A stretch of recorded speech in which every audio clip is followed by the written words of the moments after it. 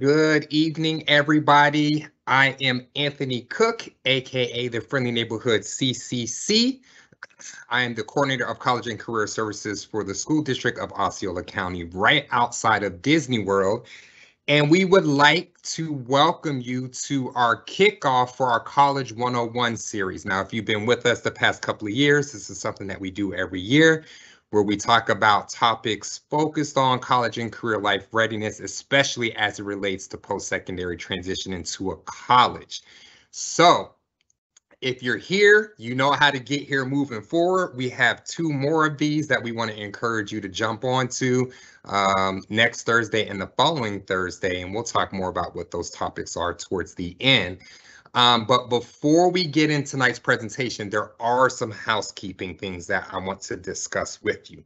First and foremost, we want to thank all of our partners who came together to put this together, who supported all of this.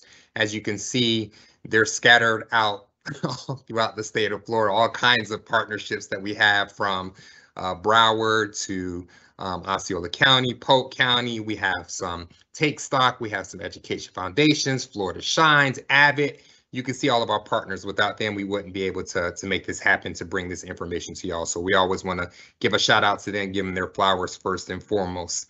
Next, I want to talk about how to navigate tonight. So if something comes up that's shared with you, you're unsure of, you want us to repeat that, easy. All you have to do is use the Q&A box that you'll find up at the top of your screen. Type in those questions. We have people that are working in the background to answer those questions for you.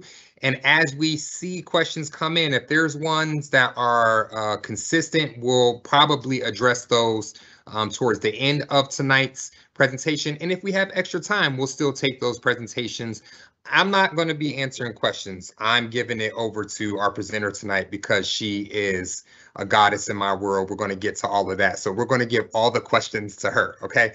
I'm just joking. We're all going to answer questions. and then lastly, we want to talk about what is also available to you. Tonight's presentation is in closed captioning. If you will hit the CC logo at the bottom right of your screen, you'll be able to follow along with us as um, the words are read out on the screen for you. So those of you that are hearing impaired, please take advantage of this opportunity.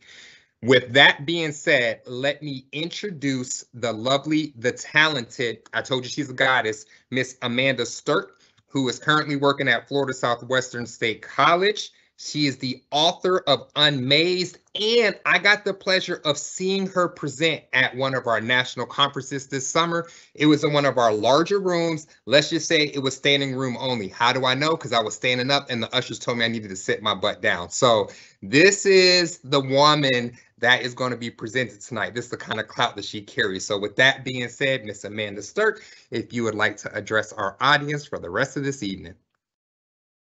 Thank you, Anthony. And it was so great to, we were over in Austin, Texas, and it's great to see your smiling face. I'm like, Anthony, it was amazing catching up with you.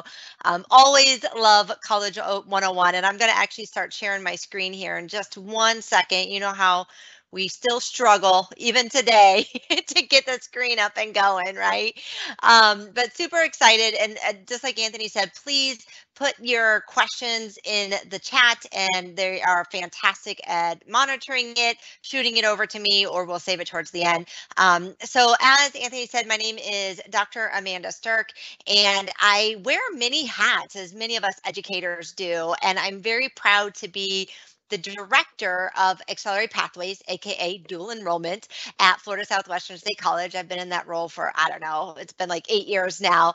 Um, I serve 3,300 dual enrollment students. So every question you're probably asking tonight, I get on a regular basis.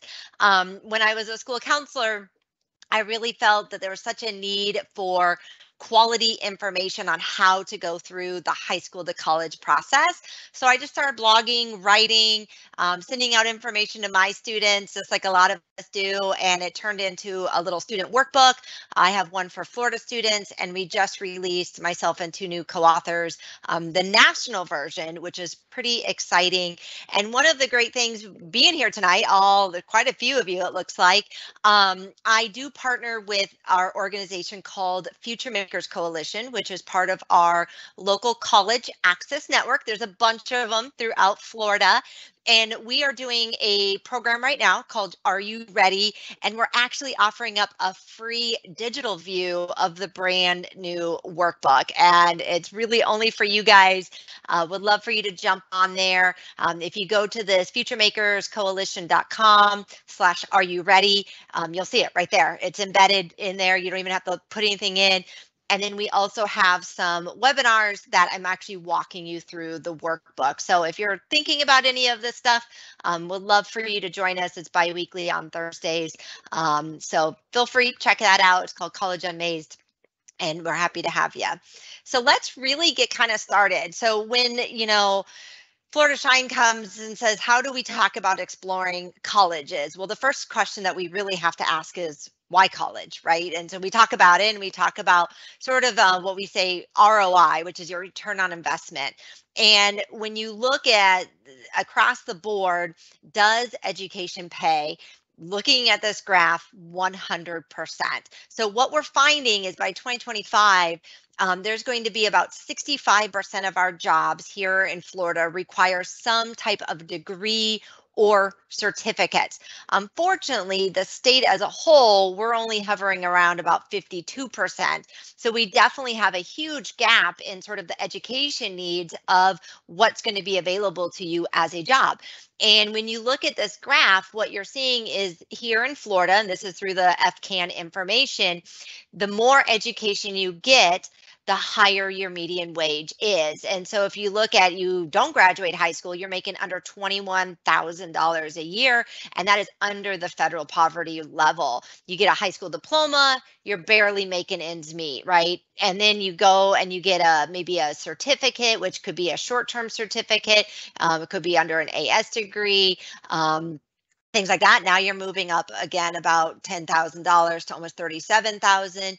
You get a bachelor's degree, the average is about 66,000 and you go on to masters or higher and you're talking about almost $100,000. So if you're looking at the time and the money put into education, it definitely pays. So overall, when you look at sort of a high school student that just graduates and somebody with a bachelor's degree, that's a million dollars difference in your lifetime sitting there on the table. And you're like, eh, not really worth it, right? So it definitely pays to get some type of degree or certificate. And like I said in the beginning, our jobs are going to depend on that. Are the people, the employees, the employers definitely want some type of degree or certificate coming out of whether it's a, a technical college, whether it's coming out of a Florida college system like FSW, Miami Dade, Broward, um, Valencia, um, or all the way to the state university level at a four-year degree or higher.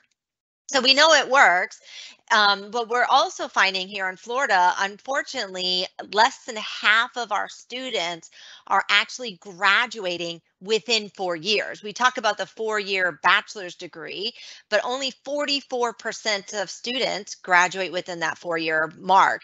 We're talking 56% are taking five years, six years. And when you look at some colleges, um, they're actually reporting six year rates. Now, I don't know about you, but I'm not planning for my kids to have a six year college education, right? I don't want to pay for six years of college education. So it's really important in terms of, you know, when we work with students on exploring what their options are, that we're not only just looking at, um, oh, what college do I want to go to because it's big and it's got a certain football team or whatever it may be. We have to actually look at what's the career I want and then based on that career what major do i actually want or what degree do i want what certificate do i want what's the actual path to get to the career that i want too many times kids just pick the college because it looks fancy and they have really fancy marketing, but they're not really thinking of the end goal.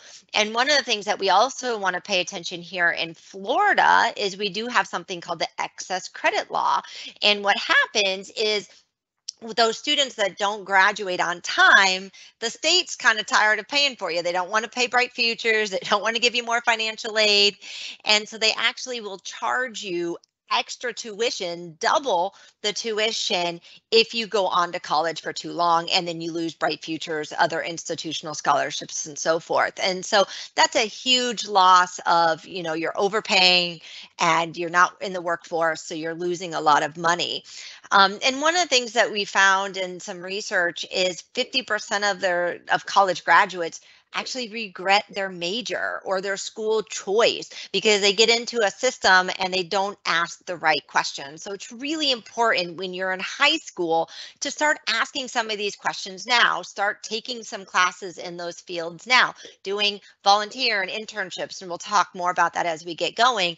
Um, and so that way when you sort of start going on this path to post-secondary education you have a much clearer pathway than to sort of jumping on and hoping you know for the best. Um, and then lastly i think what's important is especially you guys um, you're going to have a different jobs in your life you know very very rarely anymore. I know a lot of our parents, you know, they got a job and they stayed there for 40 years. That's not the case anymore with online work environments, with the hybrid models, um, that kind of work life balance. You're seeing that your generation is basically projected to have anywhere from 12 to 15 jobs. And that takes a wide set of skills and education to be able to sort of navigate um, what that looks like for you. And I'm sure you probably have followed you know, obviously since COVID, um, that's greatly changed, right? That sort of mobility. What can you do from home? What do you have to go in the office for, and so forth. So, knowing your career path is really important as part of the process. And one of the things that you need to sort of start asking yourself is talking about this thing called fit. And I really don't like the word fit in the sense of when a lot of school counselors and teachers and whoever works with you, we say, What's your fit? What's your college fit? But we really don't define how do we look at some maybe statistics or some data or some information from the colleges that really match me? Because what works for me might not work for Anthony and might not work for Ashley and all the other people that are on this um, webinar. And so, um, what we did in College Unmazed, we broke it down and we said, what are some of the real tenets of fit that we think kids should know? And the first one is really talking about what we call academic match. So, academic match is really the idea of a college that um, I'm interested doesn't match who I am academic. So, that could be um, maybe my by my GPA, my ACT, SAT scores. It could be, um, you know, how many students they actually enroll, how many they accept. And so basically, we also kind of talk about chance of admissions, right? It, am I able to get into that college and will I be successful if I do get into that college, which is really important.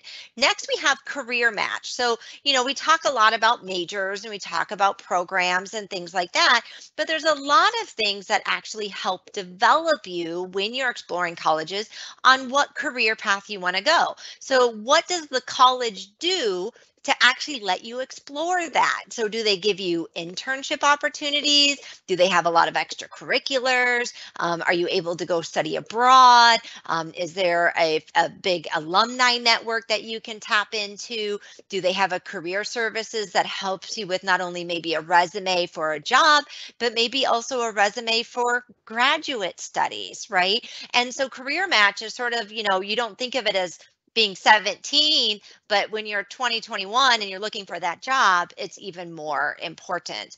Um, financial match. Now, I wish every family could just write that check and be able to afford college. Fortunately, here in Florida, we are the second cheapest in the nation. I was just listening to a, a, presentation by FGCU today, and they have not raised their rates in, I think it was nine years, they said, that their tuition has stayed the same. And we are one of the cheapest in the nation. I was at a an event with the future makers the other day and we were asking students like is college affordable? And every kid's like no no it's not affordable. So i said guess how much our tuition here is our state university? They were like 10,000 50,000 60,000 And I'm like, it's less than $6,500. Um, so a lot of people don't think it's affordable because you're hearing all this stuff on the news.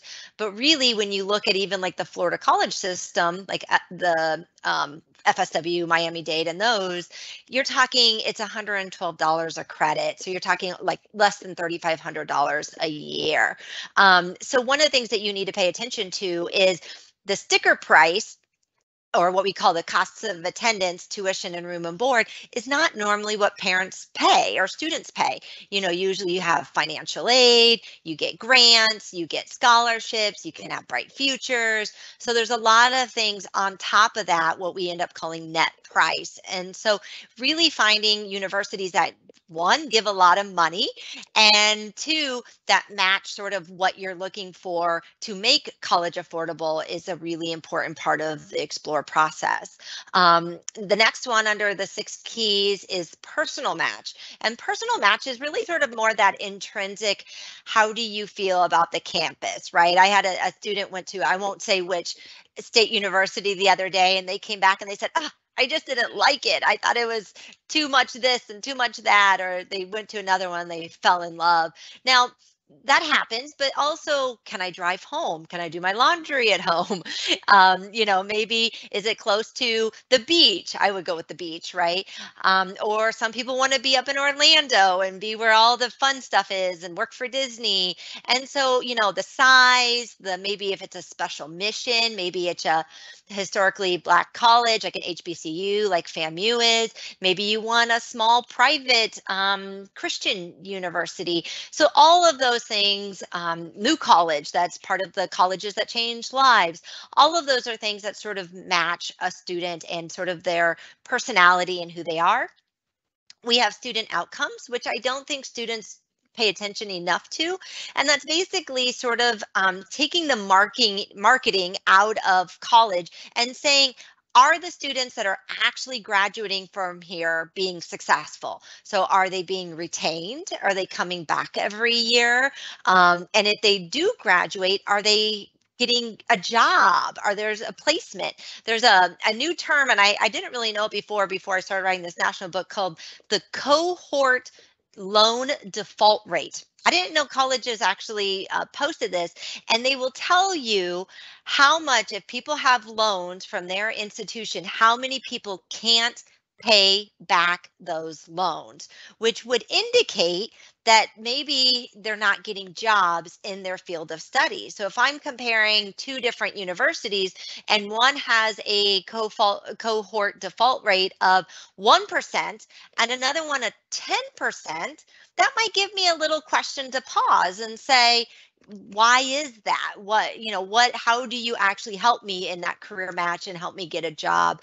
Um, and so there's lots of other things. So you could do alumni earnings how many are graduating within that four year rate that five year rate that six year rate. So those are the some even though like sometimes data is not very sexy um, there's some really good information out there um, that you can definitely use. And lastly student support. I think that this is a very underrated um, part of the process and i think it needs to be further up in your things to look at in a college and really that is once i'm there what services to help me be successful so maybe you're struggling in math what does it take to get a tutor at that university or that college? Um, maybe I want to change my career path and I need advising and I want to make sure I'm taking the right courses. How do I go about doing that? What if I have a 504 or an IEP and I need my accommodations or I just want to make sure I have them if I need them. So what does their adaptive services look like and how do I actually access that? What about mental health issues? When you're talking about one in four adults have some type of severe mental health um, problem, what does it take to go visit their mental health counseling services? And these are all things that are super important because if you get stuck, is the institution going to help you get unstuck right because you don't want to be part of that um, you know population that doesn't graduate from college or graduates after too long and gets that double tuition. So um, those are just really important things. So when you talk about fit with your with your counselor, with your college support network, and your teachers, really think about um, as I'm exploring colleges how am I sort of looking at all of these things? Now, what might be important to me now if i have say um, accommodations and i really need some extra time and some small um, like a, a in more private testing environment that might be more important to me or if i struggle with writing student support might be sort of a bigger circle, right? And I, that might be more important. Where for some people, financial match might be a more important. So your bubble might not look like my bubble, and that's okay. You just need to know that you need to look at all aspects because I think so many times we get so focused on one of them, which is typically can I get in, right? Can I get in? And then I'm done. And if I can get in, then everything's great. And there are times, I know, Anthony, I'm sure you've had these conversations over and over again where kids get to a school and it's not what they think it is, right? They didn't ask the right questions and they didn't go through that process. And one of the things that I know um, the Florida college system is doing, the state university system is doing, is we're really trying to get kids to start exploring early, as early as high school, to kind of determine what maybe career pathway they want to go into, what department. And so, are you going to be in STEM, the science, technology, engineering, and math? Since I run dual enrollment, you know, I help a lot of students with academic planning and trying to align their high school credits with their dual enrollment credits with their potential major. And I say, well, if you're going to be a biology or pre med or engineering, you better take a lot of math and science, right? You better get going because you're going to be in those for a long time. And so exploring that now and early can really help you make sure that that is the right path for you. Um, do you want to go into business? Do you want public safety? Our criminal justice program is probably uh, the DE kids love taking our criminal justice. We actually have a class where um, we have a little island on campus and they bury a, a, dead pig and they set up this whole like crime scene and you have to go in and take pictures and do all the forensics on it. It's like the, one of the number one classes for electives. And but that's a great class to say, do I like that and do I want to be part of that? Do you want to be in education? And even though not education is not just uh, teachers, right? Educators are across the field, and so what does do you want to be a, a, counselor? Do you want to be an administrator? You know, how can you be or nurse or whatever that may be? We got health sciences, so kind of starting to look at which pathway will help you not only in high school but that sort of transition to college. Obviously, one of my favorite sites is Florida Shines. Um, thank you again for hosting this tonight, but they have these really cool personality um, little quizzes that you can do.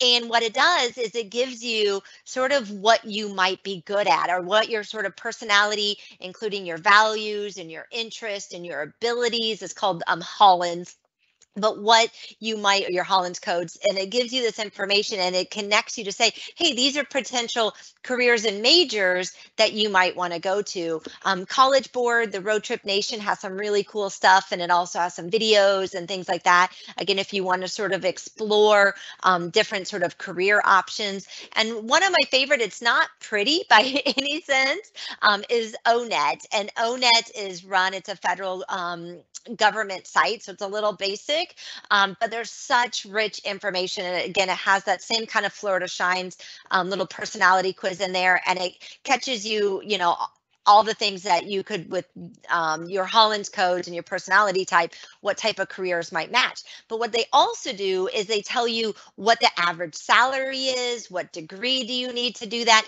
and if it's a bright outlook, meaning is there going to be jobs available in that field? And if so um, you know which state might work best for you? So those are all three resources if you want to sort of explore um, career options a little bit more.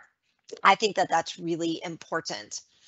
Um, so one of the things also as we're sort of talking about if you kind of know what what maybe you know field you want to be in or pathway you want to go into, then you need to decide what's my time commitment? What do I really want to do in terms of access accessing education. And not all education has to be a four-year degree or doctorate. It, it can be some some certificates at your local technical college or your local community college can be very well paying and great. And there's sometimes you don't need a bachelor's degree to have a very high paying job. Um, a few years ago this is actually i was not in florida i was in iowa and we had a program with our local community college and they were building wind turbines and it was so cool because uh, we had several kids that got into the program as a dual enrollment student started the training I think that was their senior year. They did a six months after that. They came out at 18 years old, making over $85,000 in rural Iowa. And I mean, they had to climb up the wind turbine, but I mean, it was such a high paying in the in demand field and they were just loving it. And so there's a lot of certificates out there ranging from anywhere from 16 to 18 months that they're directly employable after completion and they're usually in demand workforce credentials. We also have associate's degrees. Associates, there's two types. There's associates of science and associates of arts. Associates of science are directly employable. So you go into it and the idea is you take less core stuff like less English and math and you focus more on your actual career. And once you get out of there, you can get a job in that field where an AA degree is more core and that's built building you up towards a transfer into like a state university. And we call those like two plus two programs. So FSW has a two plus two with FGCU. Um, you know, Santa Fe College has a two plus two with um, University of Florida. Like they have a special engineering program. Um, so there's a lot of those where you can um, start at a community college or a state college and then knock off those prerequisites go into a bachelor's degree. A bachelor's degree is a four year. Your first two years are basically, again, a lot of core and then elective prerequisites to get to your major. And then you can go right into a job. Um, and then you have master's degrees. Being a school counselor, to be a school counselor, you need a master's degree. So I needed a bachelor's degree first, and then I could go and get my master's degree, and then I would be able to get that certification to be that um, to be a school counselor. And then you have also doctorates. Um, so that could be a JD, it could be in, in law, or sorry, JD is in law, um, it could be an MD. Um, there's lots out there, uh, pharmacy and so forth. So there's a lot of different options along that continuum. And one of the best ways to kind of show how these certificates and degrees can be stackable is nursing is probably one of the best examples because you can start off as a CNA and do a, a brief um, you know certificate. You can then keep going and get additional education and building all the way up um, with the more education obviously your income starts increasing across the way. And so a lot of certificates and degrees are stackable and you can go every step of the way. So for example at, at FSW, for example, we have a um, certificate in entrepreneurship. And so you can get your certificate while getting your AA degree. So you're getting a certificate an AA and then you're you're putting that on to a bachelor's degree but you can work in that field as you go because that certificate you got right away instead of waiting all the way in 4 years um, other ones that have similar pathways, if you think of um, computer science has a lot of sort of um, smaller degrees that can kind of build up over time. Um, nursing obviously is a big one, uh, criminal justice, there's a lot of them that you might want to consider. So this is just um, because I talk so much with my dual enrollment students about sort of what the AA looks like to a bachelor's degree. Um, this kind of breaks down a traditional four-year degree plan, 36 credits, um, and 36 credits would be, if you don't know how credits work, uh, one course in college typically is three credits. So if you take composition one, um, that would equal three college credits. So if I talk about 36 credits, that would be 12 classes, right? Um, so about 12 courses or 36 credits are um, general education. So that's going to be your English classes like Comp 1, speech, humanities, mathematics, science, social science, and so forth. And then you have electives. Um, electives could be very specific, like those college credit certificates I was discussing. Um, it could be courses like business, engineering, criminology, um, excuse me, foreign language, things like that. Um, and usually those are building up to your potential major. So if I was going into engineering, I would be taking a lot more math and science as my electives because that's what the major requires. And if you haven't yet, learn to be good friends with the college catalog. um, it's like, it's not a fun document and there's lots of pages to it. Typically, if you look at UFs or FGCUs or FIUs or whoever, um, you kind of have to find it. But what's really cool is all of us, all of us higher ed institutions have listed out if you want this degree or certificate, these are the exact classes that you have to take to do that. So if you're taking dual enrollment or AP or AICE or IB, you can start looking ahead and seeing, okay, if I take these classes here, how does that transfer and what do I need to be in that major? And so you can start doing that right now. And I really implore you to do that. Um, and so then you're building up those electives. Then you have 60 credits approximately towards your bachelor's degree. And you really, that 120 credits is sort of the sweet spot and then you start getting into too many credits and then that's where you get into the excess credit law. Now this is again a generalization. Some degrees are longer than 120 credits but for the most part that's sort of the average um, but you know what's kind of sad is even the aa degrees even at our own institution um, i think our average credit amount to get an aa is like 75 credits. So kids are going further and taking more classes than they actually need to get that um, degree.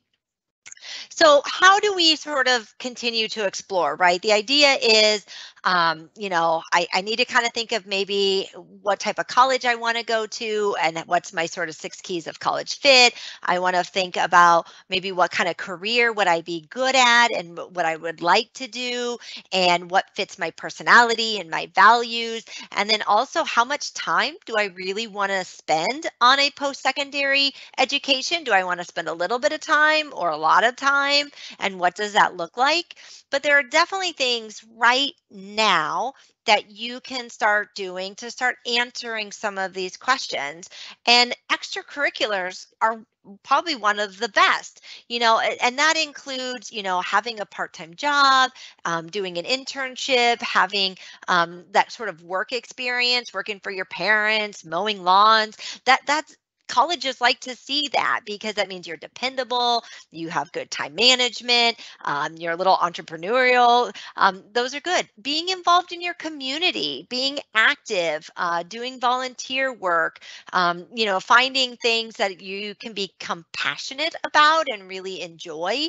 Um, also, creative pursuits. You know, we want to see kids and students in the arts and express themselves and, um, you know, do things that really lets them think outside of the box also we want to see it be nice some major specific courses so if you're going into say you want to be a pre-med major i would expect that you're taking advanced biology and advanced chemistry and advanced mathematics at your high school because you want to sort of build up and make sure that you like those classes.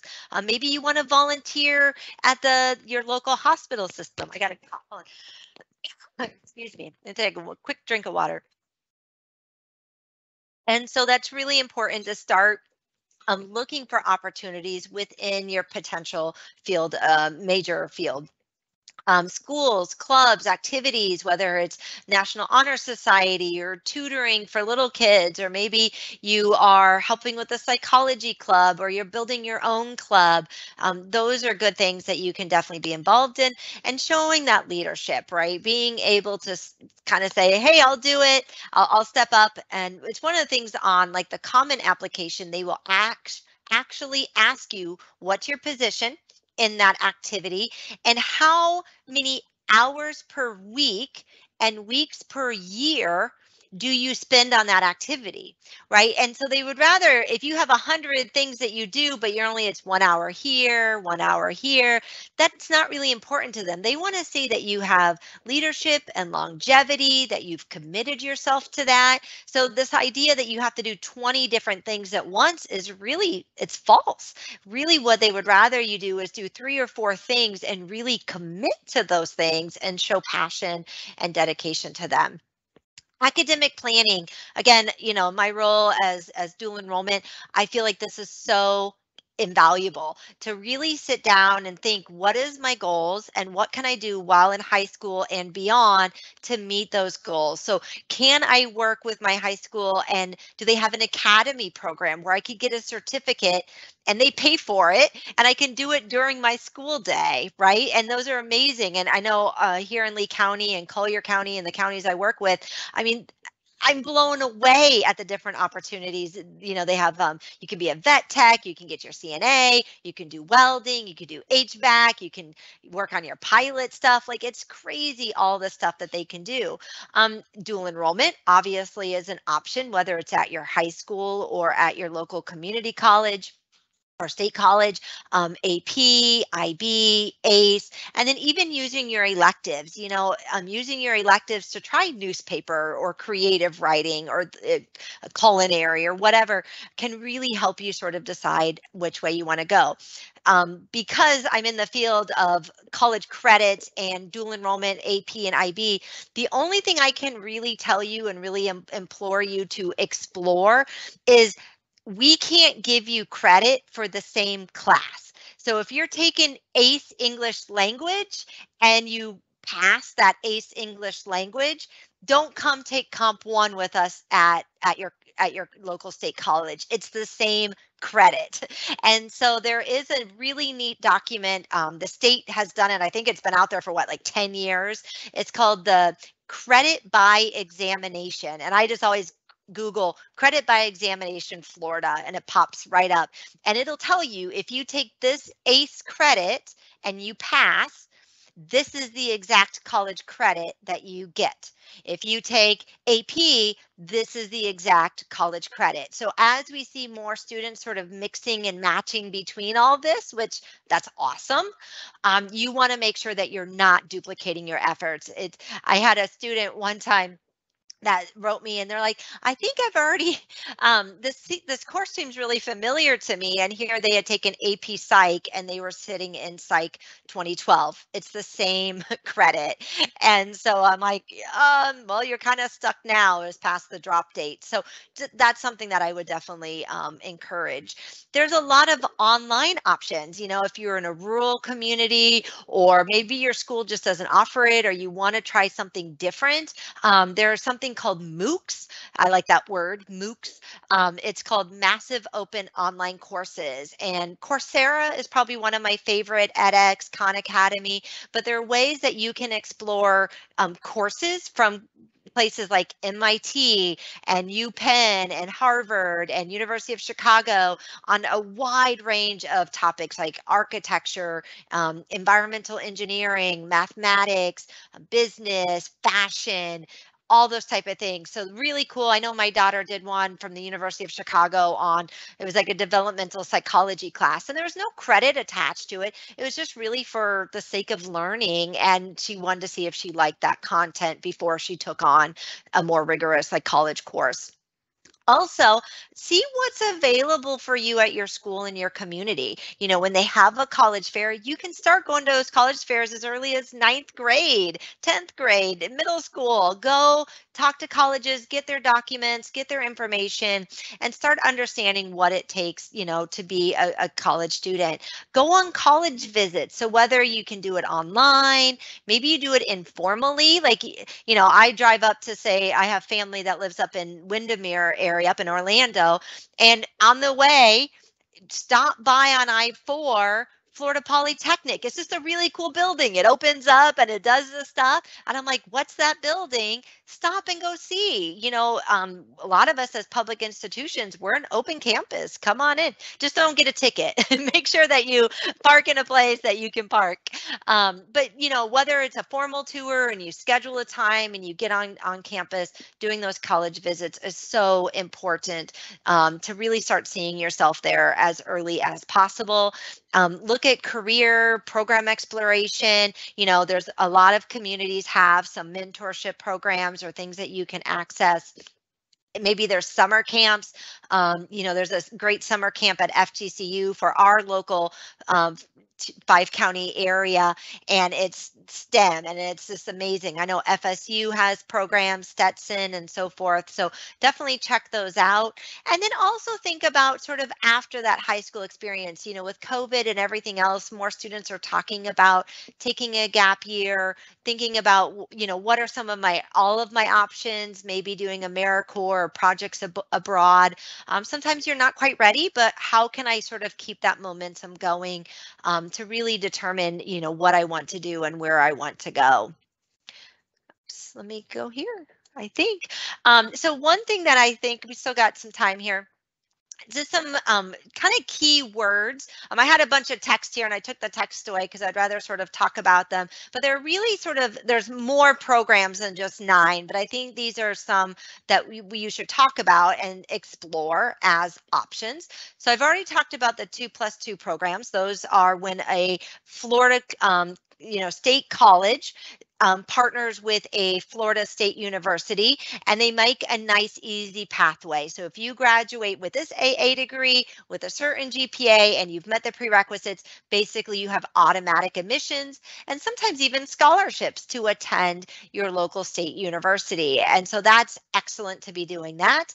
Um, I know, for example, at say um, FSW, we have some collegiate programs and so they are taking uh, getting their AA while in high school and if you graduate with that program FGCU, our two plus two partner, will give those students an extra $5,000 a year for up to three years to continue their education with our two plus two partner.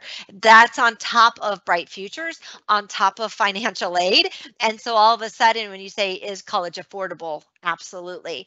Um, you also have what we call four plus one or three, two programs where blends in an undergraduate degree with a graduate degree. Um, sometimes you see them in architecture or education, um, MBAs. Those are pretty common. One of the things a lot of people don't know if you graduate from undergrad early, before your four years, you can actually use some of your Bright Futures money. I believe it's up to 12 credits to actually go to a graduate program. Now, it's at the undergraduate rate, but still, you're still saving that, you know, $7,000 a year to continue into those programs. Um, colleges that change lives, that is a special program that are really focused on um, having a, a different experience, a transformational experience on the college campus. A new college and Eckerd are our two here in Florida, but that's kind of a neat program that is really about, um, you know, a, a, learning community that's really tight knit and about sort of that personal growth just as much as academic growth. We also have the HBCUs, the historically black colleges and universities that are a special mission driven program to serve um, that population, which is they're fantastic for all students. And they really um, have a lot of programming and a lot of pride in their culture and what they do. So an HBCU is another option. Um, there's an honors program. So sometimes you might think, oh, I have to go to an Ivy League or a very selective school to get this sort of small teacher or professor to student ratio. Honors programs are nine to one, just like any selective school. So looking at sort of, is there ways I can connect for research and internships and, and really get it connected in with the honors? Um, internships, we did have a little discussion already about that. Basically, that kind of work experience and how can I get that early. Learning communities are typically where a dorm might be or a, a class or cohort is created to kind of keep you together, to provide support and connection limited access that's typically in nursing a lot of times but basically it's you start in like a general education program and then after you get your prerequisites then you apply to a program right? So our nursing program is like that. So you because it's so competitive and so many people want to get into it you take your you go into the college you actually get um you know your credits some credits and prereqs done first and then you apply. On the flip side of that there's a program called direct entry which limited access you don't know if you're going to get in where direct entry says if i'll accept you now and if you do all of these prereqs you're guaranteed a spot at the end of that. So i would put um, direct entry in next to that as well.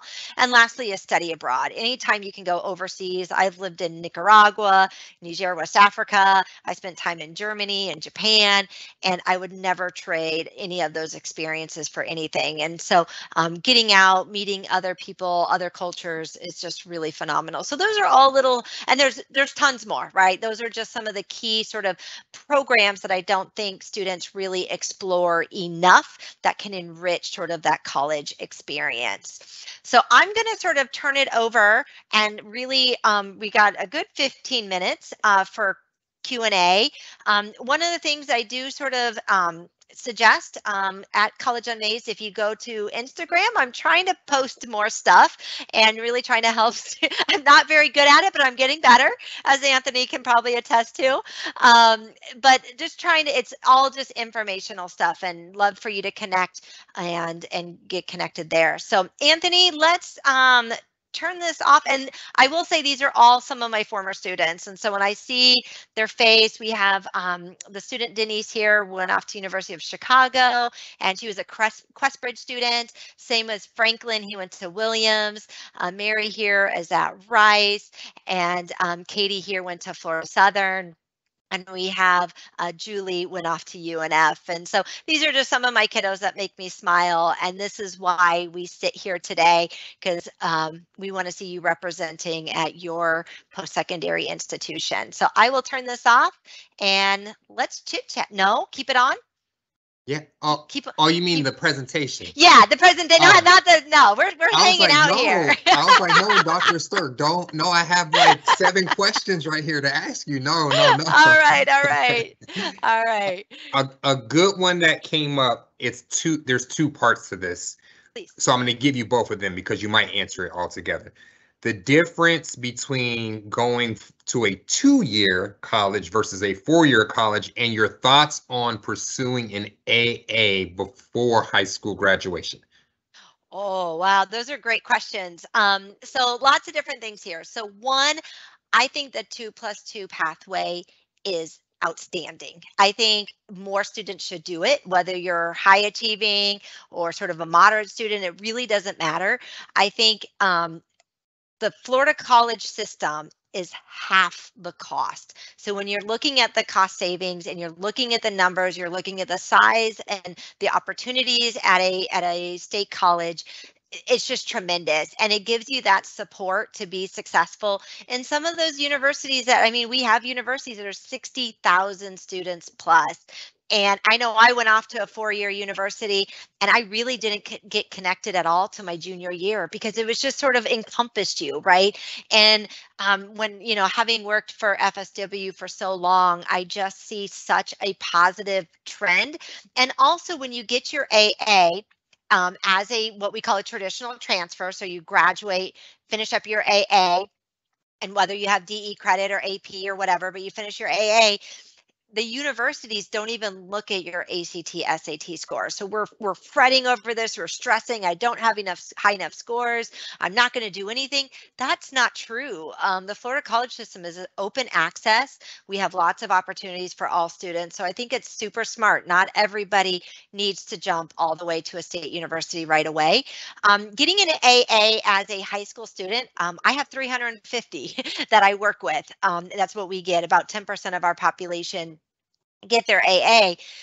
The thing with the AA is you need to have really good advising, both from your school counselor and the college that you're attending. And I don't think that that connection is strong enough. And I love my school counselors and they do a fantastic job, but their goal is to get you graduated from high school our job is to get you graduated with an AA degree. So we're not thinking of, oh, do you have government checked off or do you have American history checked off? We're looking, is your AA complete? And sometimes the information is not the same. So it's really important to understand both pieces of it and to really communicate um, because I see a lot of misinformation from here to here. So as much as I try to talk to the counselors about, you know, updates and civic literacy and all that stuff, um, it's really important that you are managing both worlds and you're paying attention. If you're coming out with 60 credits, do you know what your major is because yeah. you're going to be jumping right into those higher level chemistry courses and business courses and so forth are you ready for that and two have you taken the right prerequisites to be able to do that major, right? Because that's sort of the thing. If you're coming out with an AA, I expect you to go in as a junior and all those prerequisites to be done. You might not be ready or you might not have the space because you're meeting high school graduation requirements.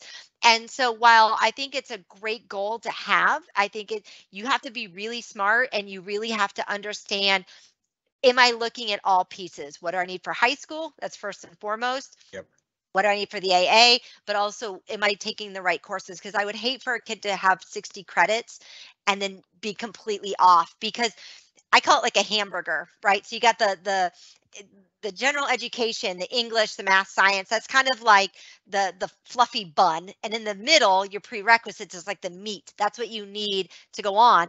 If you have taken all of your fluffy stuff and you don't haven't done your prerequisites for your major, you're going backwards and it's actually going to take you longer because you get out of sequence of courses. So again, really important to pay attention to college catalogs, pay attention to your high school graduation requirements. So you just have to self advocate for yourself quite a bit if that's going to happen. That was a long answer. No, no, no, that was great. And like where you're going to, right, Dr. Sterk, because some of the competitive colleges, they'll recognize some of yeah. your credits, but then they'll make you retake it because Absolutely. they have a specific curriculum that they want you to follow. Absolutely. And, you know, and I tell students, same with AP and IB and AICE, right? They're not going to take your all those credits, right? It's great. And that's what's going to get you into the university uh, if it's highly selective. Here in Florida, they have to take all of your credits. It's state law, right? Is to take those credits. And so um, I've actually had students turn down Amherst at a full ride saying I'd have to do everything over again and I could go to UF, do two years, and then go get my MBA at Amherst and be done in a short amount of time. So some kids, again, it goes back to that financial match, your student outcomes, you know, what sort of fits you as a student. And some students are like, peace i want to go to columbia i don't care don't take my credits. And others are like no i work too hard for those. So you just have to ask those questions what happens. AICE is the same way not everyone recognizes AICE credits. Um, and if you go to a college catalog at pretty much any state university or any kind of university out there it will kind of say this is what we take for AP, this is what we take for CLEP, this is what we take for some of those. And so it's a good question to ask admissions when you are exploring those colleges. Great question. Great response. Great. These response. are good. Wow, yeah. these are good. Um, so it keeps coming up in the chat. They're talking about early action. What's the benefit? Do we recommend it? If you want to kind of expound on that a little bit. You know, it really depends. Um, some students are ready out the gate. They've been planning to go to college their entire lives, right? They came out with, you know, trying to plan everything out. And some kids are ready to, you know, uh, really commit and start applying right now. The one nice thing about early action, early decision, it's a smaller pool of applicants, right? So you go from maybe the 40,000 in the general population to really maybe a thousand or 2,000 because that means your test scores are spot on. It means your resume is really not going to change. Your classes aren't really going to change. And so you're ready right from the get go. And you're saying, you're my number one. Like I really want to go here. So one of the things that colleges looks at, and we actually talk quite a bit in the book, is about demonstrated interest, right? Some colleges, that's important to them. Do you actually kind of show up? And if I give you a seat, what are the chances that you're going to come here? And so applying early action, early decision provides that sort of information. You're my number one, and I want to go here, and and we'll make all you know options available that I can attend. So, but some kids aren't ready. Some kids don't have that score yet. Some are still working on that GPA or whatever that may be, and that's okay. And that's where the priority or rolling admissions. Um, you know, I had a student I was working with, and they got into LSU with a 2.8 GPA in June of this year. Like, I mean, he was late to the game, and he got in. And so they are looking for all types of students at all different times. Um, it just depends on what kind of student you are and if you're ready to submit those documents or not. Good question.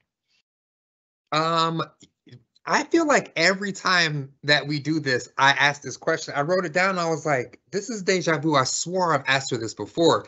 Stackable credentials. Can we just revisit that one time? And my part two of this is because this came up two or three times in the chat.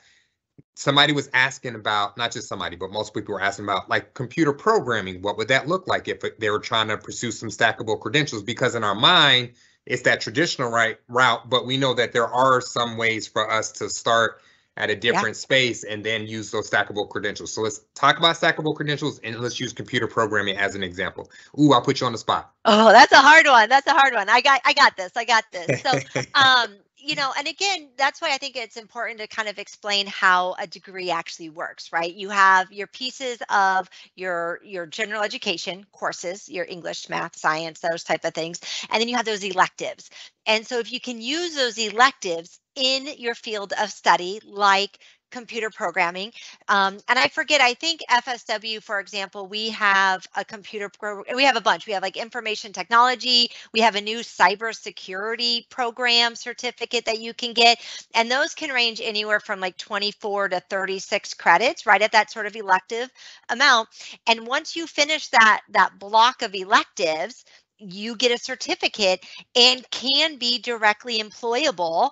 And so we had a student, this was a few years ago, he was getting his AA as a high school student, did the computer programming, got a part-time job while he was working at UC, uh, he was going to school to UCF and he got a part-time job I mean, he was working just a few hours a, a week and he was making forty thousand dollars. like, mm. I mean, it was crazy because he and he got into it. And so when he went to go apply for internships, and he went to apply for you know um, graduate school, he already had all the experience. I was helping a student a few years ago. Actually, it was like a year and a half ago and they were applying to FS. Um, they were at sorry, they were at UF and they were applying for med school. And this is kind of right after COVID, right? Perfect MCAT scores, great kids. You know what they didn't have? They didn't have clinical experience. And what they said mm. is you should have gotten your CNA. You should have gotten your CNA as an 18 year old, worked in the hospital setting as a part time, built those credentials, done the hard work, know what it takes to work in a health, uh, you know, a health service environment. And that would have been even though your scores are great, your GPA is a 4.0, but you have no experience. And so looking at how can I build those stackable credentials is really is so key. And there's so many out there um, to start exploring. Again I, I would implore you to explore a college catalog. Get in and it's while it's not sexy at all, there's such good information. You can see again how many credits do I need, what classes do I need, and you can start imagining how it might fit together. Um, so yeah, so computer programming is definitely one and again um, they're needing it. I mean it's I've, I've heard of people at harvard going back and getting computer programming cert- certifications and getting better jobs with that certification than their actual degree. Um, so it's true. And so being having multiple talents and skills in any of the realms i think is really important. So if you can get a certificate and it means something by all means i would definitely do it Okay, I you brought this up and it makes sense to me and you because we've been in it, but I want to act like people out here don't really know what this is. So can you expound a little bit more on Roadtrip Nation and the resource Roadtrip Nation provides? Wow. Um, I mean, you could probably talk a lot more about it. I mean, I, I use it more on a precursory than maybe other people do. But basically, what Roadtrip, it's part of College Board, which we all know College Board, SAT, and, and Big Future, and everything like that. And what they have done is they've gone in and they've actually talked with people. Um, that are in the field and they've done videos and they've talked about the career and so you're really able to access this huge bank of sort of uh, career options videos people talking about what they do and it's really and it's done well it's fun it's it's you know lively it's not like super boring. Um so i mean that's what i would add to it. Do you want to add any more to it anthony? You probably use it a little bit more than i do actually. No that was good. I mean it okay. was students that decided yeah. they was going to literally tour the United States and interview everybody that they could mom and pop CEOs, rappers, dancers, engineers, everybody. So um we're at the end of time, so we're going to stop there. Even though these questions keep coming in, we're trying to be respectful of time. Otherwise, we stay on y'all, stay on here with y'all for like another hour. So Many of y'all were asking about financial aid, and part of the reason that we didn't discuss it here is that we actually have a session. It's our last session, September 29th. You jump in the same way that you jumped in tonight. We're going to go a little bit more in depth on what that looks like. We'll cover all types of financial aid um, and answer many of the questions that y'all put down in the chat for that. And then our next one is the whole application process because y'all thought the enrollment process was a challenge. When we start getting into the application process, it's equally, if not more difficult. So we want to make sure that we spend time on that next Thursday as well. So Dr. Sterk, thank you for being on. Thank you for presenting. Thank you for building all of these questions. And to the rest of y'all, have a good evening. And if you want to scan that QR code and bookmark that um, website, that way you can jump into our next few ses sessions. Thank y'all for being on tonight. Enjoy the rest of your evening. Thank you.